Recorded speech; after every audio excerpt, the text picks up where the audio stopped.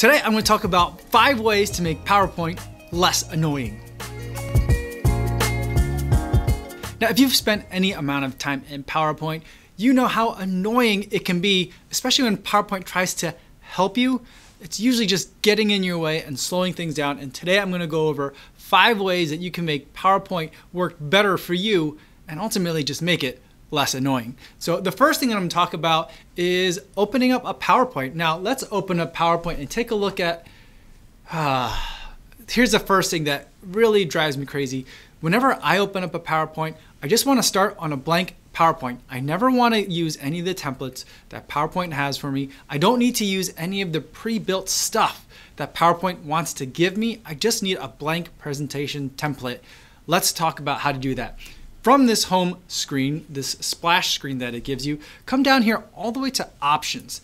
And in the options, you can scroll down on this general tab and the last item is show the start screen when the application starts.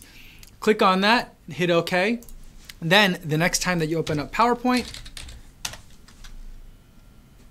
it's gonna kick you right into a blank presentation so you're ready to go. That for me is just amazing because I hate that splash screen. I never, I never, I just never use it. It's never that useful to me. So the next thing that we're going to talk about is the PowerPoint Designer. Now here's a situation where let's say you're working in a PowerPoint and you're inserting a photograph. Let's find one here on this computer and let's insert it. So we've got a photograph inserted into PowerPoint and then all of a sudden a new window pane opens up and it's the design tips or what is it called? Design ideas pane and it tries to give you some graphic design and layout options.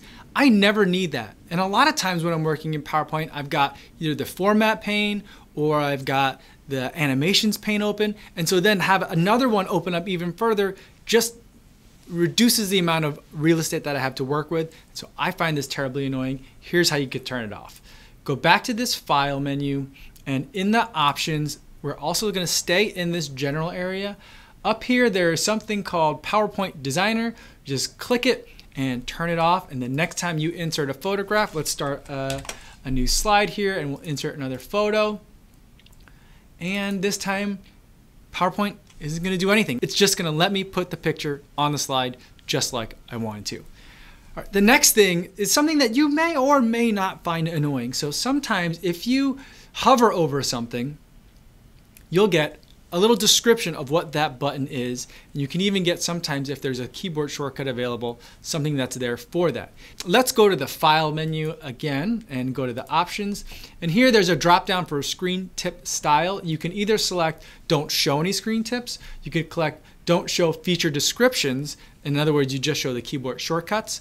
Uh, and one is just show the feature description in the screen tips. And that's what the default is. So you can tinker with that and adjust it to how you work and your level of comfort with PowerPoint.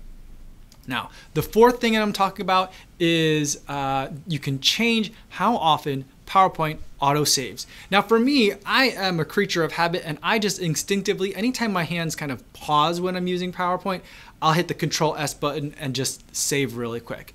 But uh, if you're not like that and you're working for a long period of time and suddenly your computer crashes or the program crashes or the battery dies and everything falls asleep and you lose your work, you want to be able to recover hopefully from a relatively recent autosave point. And you can change how frequently that happens in the file menu once again.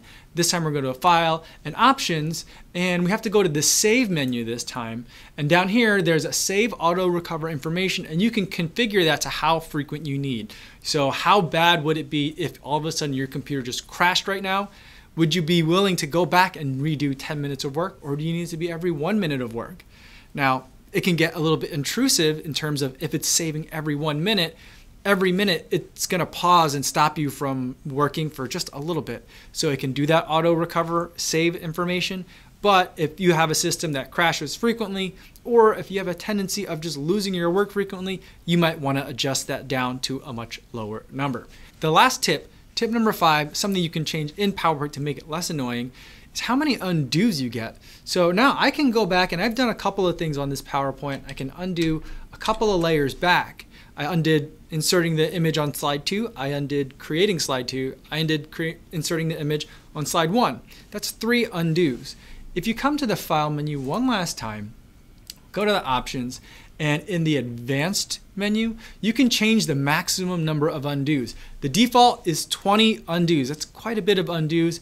If you want to go back even further, let's say you have someone that likes to have you do some work and then says, you know what, let's go back and do it the other way. You can hit undo a whole bunch more times. I don't know what the maximum number is that it'll take, but 20 is usually plenty for me. But depending on your workflow, you might need more or you might need less than that. I think if you use less than that, things might move a little bit faster. So if you have a system that's running really lean in terms of system resources, maybe you lower that number down. But I think for the most part, most people will want 20 or even more. So that's all I have for today's video. Let me know if those tips are useful to you or if you have an additional tip that didn't make my list that's been really helpful for you. I'd love to hear about it. Thanks so much for watching this video and I'll see you in the next one.